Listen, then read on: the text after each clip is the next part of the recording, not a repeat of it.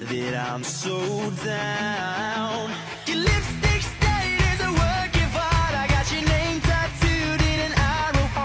You just have to pause and look at the writing in the video. It says, We are so proud of our daughter.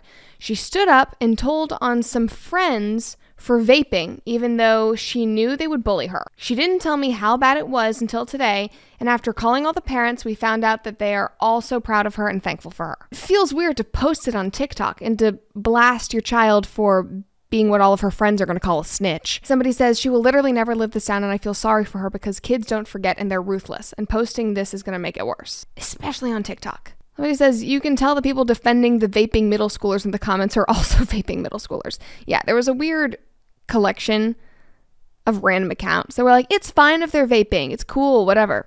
Shut up. All of you are way too attached to vaping, and it shows.